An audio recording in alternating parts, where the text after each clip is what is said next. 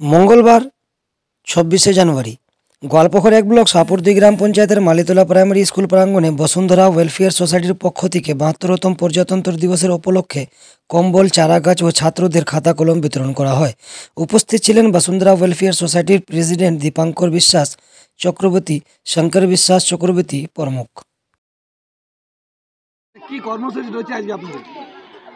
আজকে ছাব্বিশে জানুয়ারি এই ছাব্বিশে জানুয়ারি প্রজাতন্ত্র দিবস উপলক্ষে আমাদের বসুন্ধরা ওয়েলফেয়ার সোসাইটির আমরা মেম্বারগণ যত গোয়ালপুকুরে আছি শাহপুর টু জিপির তাতে আমরা এখানে গরিব দুস্থ যারা আছে তাদেরকে সোসাইটির তরফ থেকে কম্বল বিতরণ হচ্ছে গাছ বিতরণ হচ্ছে এটা আমরা একটা সামাজিক উন্নয়নমূলক একটা ইয়ে করছি এবং যারা এই শীতে মানে খুব কষ্টে উম, দারিদ্র্যের সীমাতেই করছে তাদেরকে আমরা বসুন্ধরা ওয়েলফেয়ার কমিটির তরফ থেকে ক্লাবের তরফ থেকে আমরা কিছু বস্ত্র এবং ইয়ে মানে তাদের হাতে আমরা তুলে দিচ্ছি।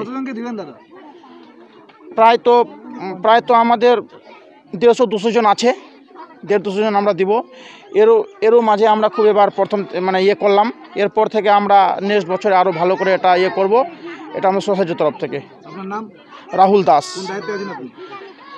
আমি তো গোয়ালপোখর এমনি যুব শক্তি ডিস্ট্রিক্ট কোঅর্ডিনেটর হ্যাঁ আর এমনি আমাদের ক্লাবের সদস্য আছি, তাদের সাথে আমাদের প্রেসিডেন্ট আছে, এখানে দীপঙ্কর বিশ্বাস আছে, ললিত চক্রবর্তী আছে, শঙ্কর চক্রবর্তী আছে, সোনা পাল আছে, নিমাই পাল আছে, তপন সরকার আছে, ঈশ্বর পাল আছে, এখানে ধনেশ্বর পাল আছে, এখানে আরও মেম্বার মেম্বারজন রয়েছে, এখানে আমাদের কুমারেশ বিশ্বাস ছিল, এই উনি এই স্কুলেরই টিচার তারপর আমাদের সব, এই শাহপুর টু জিপির যত ইয়ে আছে এবং আমাদের যুবক যত ছেলে আছে, সবাই খুব মানে খুব কষ্ট করে